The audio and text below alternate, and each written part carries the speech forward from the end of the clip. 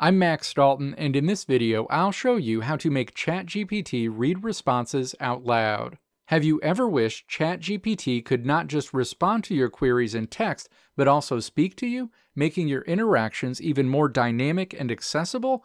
Whether you're multitasking, need assistance due to visual impairments, or simply enjoy auditory learning, having ChatGPT read responses out loud can greatly enhance your experience. In this video, I'll guide you through the steps to make ChatGPT vocalize its responses, turning your text-based conversations into spoken words. Step 1. Navigate to the ChatGPT response you want to be read out loud.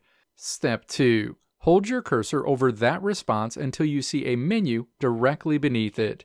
Click the speaker icon in that menu. ChatGPT will start reading the response to you in its default voice.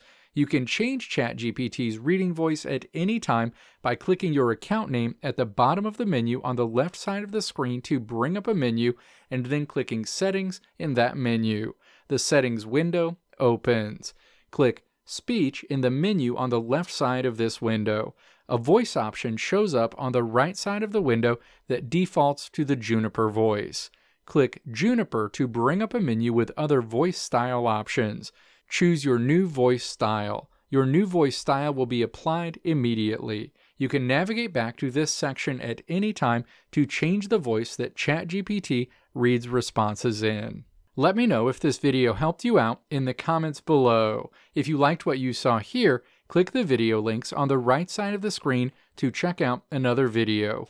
Or click the logo on the left side of the screen to check out my tutorial website at www.maxdalton.how.